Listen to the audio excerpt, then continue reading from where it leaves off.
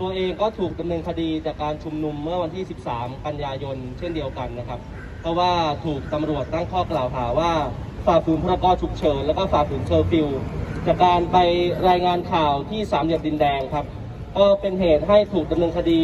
ตอนนี้ผ่านมาหนึ่งปีแล้วครับอายการยังไม่สั่งฟ้อง แต่ว่าก็ต้องเสียเวลาในการขึ้นลงขึ้นศาลพร้อมทั้งเสียเวลาในการที่จะไปรายงานตัวกับอายการเพื่อนะครับ ในส่วนคดีของตรงนี้ คดีของพรกฉุกเฉินนั้นสื่อมวลชนอิสระ ก็มีถูกดำเนินคดีจากการรายงานข่าวที่ดินแดงจำนวนสามถึงสี่รายด้วยเช่นเดียวกัน ซึ่งตรงนี้ก็จะมองให้เห็นว่าทางภาครัฐมักจะใช้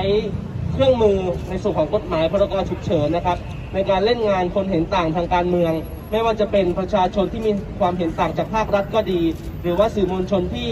ทางรัฐมองว่าอยู่ตรงข้ามกับฝั่งฝั่งรัฐบาลเช่นเดียวกันครับเราจึงขอเรียกร้องไปยังรัฐบาลครับให้มีการยกเลิกพรกฉุกเฉิน ให้มีการยกเลิกดำเนินคดีความแก่ประชาชนที่ออกมาใช้สิทธิเสรีภาพทางการเมือง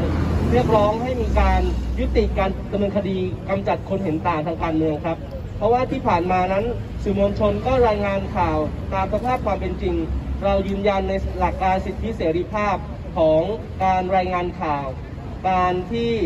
สื่อมวลชนนั้นถูกดำเนินคดีนั้นก็มองให้เห็นสะท้อนสภาพความเป็นจริงต่อการที่รัฐบาลไทยมุ่งที่จะกำจัดในส่วนของพี่น้องประชาชนที่ออกมาเรียกร้องสิทธิเสรีภาพทางการเมือง ความมั่นคงหรือว่าเสถียรภาพในการจัดการ แล้วก็การดำเนินคดีกับสื่อมวลชนนั้น จึงเป็นเรื่องที่สำคัญ แล้วก็สะท้อนให้เห็นถึงการละเมิดสิทธิมนุษยชนของประเทศไทยด้วยครับ